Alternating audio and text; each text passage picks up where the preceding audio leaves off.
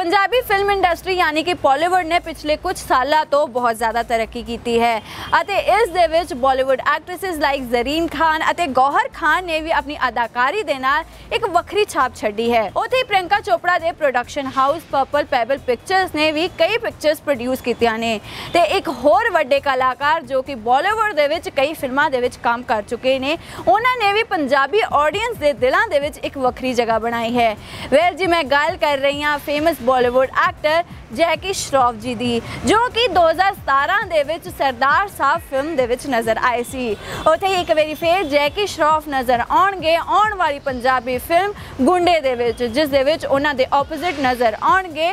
ਸਿੱਪੀ Gill. Jackie Shroff ਅਤੇ ਸਿੱਪੀ ਗਿੱਲ ਦੇ ਨਾਲ ਇਸ ਫਿਲਮ ਦੇ ਵਿੱਚ ਨਜ਼ਰ ਆਉਣਗੇ ਇਹਾਨਾ ਢਿੱਲੋਂ ਅਤੇ ਬੀਐਨ ਸ਼ਰਮਾ। ਉਥੇ ਇਸ ਆਉਣ ਵਾਲੀ ਪੰਜਾਬੀ ਫਿਲਮ ਨੂੰ ਡਾਇਰੈਕਟ ਕਰ ਰਹੇ ਨੇ Inder Sohi and the film is produced by M R G motion films ਉਥੇ ਹੀ ਜੇ ਆਪਾਂ ਸਿੱਪੀ ਗਿੱਲ ਦੀ ਗੱਲ ਕਰੀਏ ਤਾਂ ਉਹਨਾਂ ਨੇ ਰੀਸੈਂਟਲੀ ਆਪਣਾ ਸੁਪਰ ਹਿੱਟ ਗਾਣਾ ਜਿਮ 2 ਰਿਲੀਜ਼ ਕੀਤਾ ਸੀ। ਔਨ ਦਾ ਅਦਰ ਹੈਂਡ ਜੇ ਆਪਾਂ ਫਿਲਮੀ ਫਰੰਟ ਦੀ ਗੱਲ ਕਰੀਏ ਤਾਂ ਸਿੱਪੀ ਗਿੱਲ ਟਾਈਗਰ ਅਤੇ ਜੱਟ ਬॉयਜ਼ ਪੁੱਤ ਜੱਟਾ ਦੇ ਵਰਗੀਆਂ ਫਿਲਮਾਂ ਦੇ ਵਿੱਚ ਨਜ਼ਰ ਆ ਚੁੱਕੇ ਨੇ।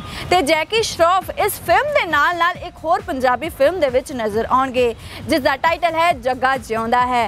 ਅਤੇ ਇਸ ਫਿਲਮ ਦੇ ਵਿੱਚ ਜੈਕੀ ਸ਼ਰੋਫ ਯਮਰਾਜ ਦਾ ਰੋਲ ਪਲੇ ਕਰਦੇ ਹੋਏ ਨਜ਼ਰ ਆਉਣਗੇ। ਔਨ ਦੈਟ ਨੋਟ ਫਰੈਂਡਸ ਤੁਸੀਂ ਹੁਣ ਸਾਨੂੰ ਕਮੈਂਟ ਸੈਕਸ਼ਨ ਦੇ ਵਿੱਚ ਇਹ ਦੱਸੋ ਕਿ ਤੁਸੀਂ ਬਾਲੀਵੁੱਡ ਸੁਪਰਸਟਾਰ ਜੈਕੀ ਸ਼ਰੋਫ ਨੂੰ ਸਿੱਪੀ ਗਿੱਲ ਦੇ ਨਾਲ ਕੰਮ ਕਰਦੇ ਹੋਏ ਵੇਖਣ ਦੇ ਲਈ ਕਿੰਨਾ ਕੁ ਐਕਸਾਈਟਿਡ ਹੋ? ਤੇ ਇਹੋ ਜਿਹੀਆਂ ਇੰਟਰਸਟਿੰਗ ਨਿਊਜ਼ ਦੇਖਣ ਦੇ ਲਈ ਸਾਡੇ ਗਬੀ YouTube ਚੈਨਲ ਨੂੰ ਤਾਂ ਤੁਸੀਂ ਸਬਸਕ੍ਰਾਈਬ ਕਰੋ ਹੀ। ਤੇ ਇਹੋ ਜਿਹੀਆਂ ਨਿਊਜ਼ ਦੀ ਨੋਟੀਫਿਕੇਸ਼ਨ ਦੇ ਲਈ ਥੱਲੇ ਦਿੱਤੇ ਗਏ ਬੈਲ ਆਈਕਨ ਨੂੰ ਜ਼ਰੂਰ ਕਲਿੱਕ ਕਰੋ। gabru.com ਪੰਜਾਬ ਦਾ ਇੱਕੋ ਇੱਕ ਯੂਥ ਪੋਰਟਲ